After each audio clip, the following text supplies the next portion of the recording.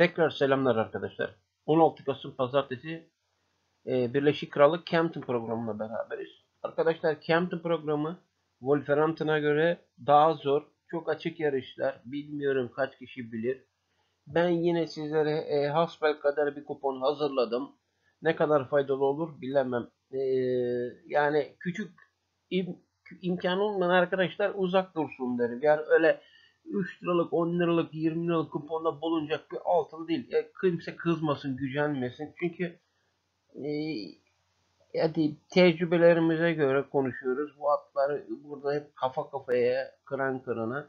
Ben öyle iki tane tek önereceğim ama dediğim gibi o kadar sağlam değil. Çünkü teksiz altılı olmaz. Ben yine de sizlere programımı sunayım. İlk ayaktan başlarım Campton altılısı.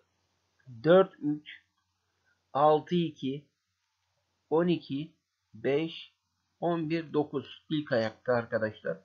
İkinci ayak 7 4 9 6 12 10 13 5 ve 11 nolu atlar.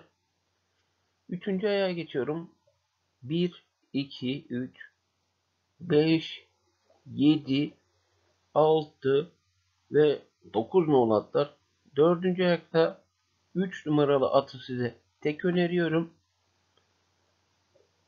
Beşinci aya geçiyorum. Tabela ayak. Tabela ayağında 2, 8, 10, 9, 5, 1, 6 ve 3 nolu atlar. Evet arkadaşlar gördüğünüz gibi birinci, ikinci, üçüncü ayak ve tabela ayağında çok at doldurduk. Buradan bütçesi olmayan her zaman söylüyorum bütçesi olmayan arkadaşlar at çıkarsın. Kur programdan e, bütçesine göre oynasın. Son ayakta arkadaşlar bir at dikkatimi çekti. At dün akşam 14'e 1'di. Şu an 5'e 1 düştü. Valentine Blues isimli at. 1 numaralı at. Tom Marquand da e, bayağı formda iyi.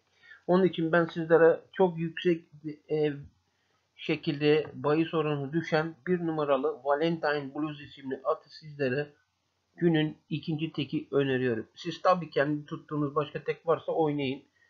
E, dediğim gibi çok düşmüş bahis oranı. Onunla istinaden 1 numaralı Valentine'deyiz şey Valentine Blues son ayakta tek. Dördüncü ayakta da 3 numaralı at. Altılının son ayağında 1 numaralı at tek. Birinci, ikinci, üçüncü tabela ayakları at dolu. Oradan artık kendiniz tutmadığınız atları çıkarın ya da oynayabilen oynasın.